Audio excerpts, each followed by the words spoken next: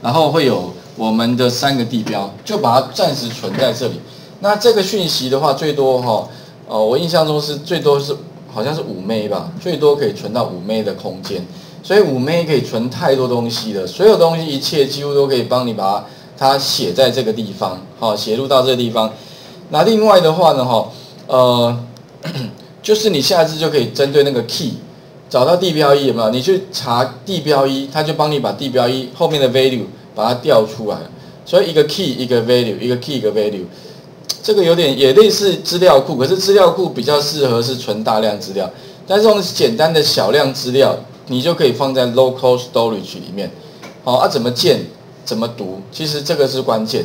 所以如果你懂得怎么样，哎，把它存起来，下一次怎么把它读出来，大概就够了。好，那其实。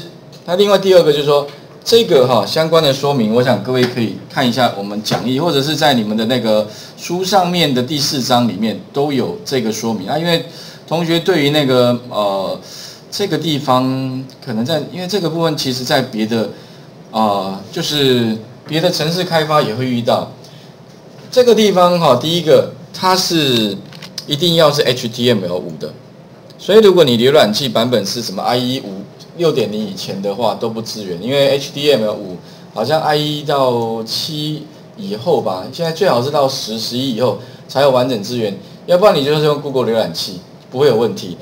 那 早期哈，如果你不是 HTML 五以前的话，我们会存在哪里呢？会存在 Cookie 里面的。我好像之前跟各位讲过，但是 Cookie 只能存四 K，而且 Cookie 的安全性非常的差，所以很多什么你的呃被骇客。知道你的账号密码，其实就是很多骇客哈，早期都会去抓你你的电脑里面的 cookie。那 cookie 里面呢，有时候为什么你会发现，哎，浏览器你好像打过一次资料，它会自动跳出来，有没有？它就帮你存在 cookie 里面。那你不是储存那个账号密码在里面？那骇客呢，就是把你的 cookie 抓过来，那他也就知道你的账号密码了，对不对？所以这次会有安全性漏洞。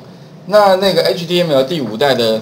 这个部分它实际上就是改进这个安全性的漏洞，所以为什么现在新一代它会叫你去去去更新？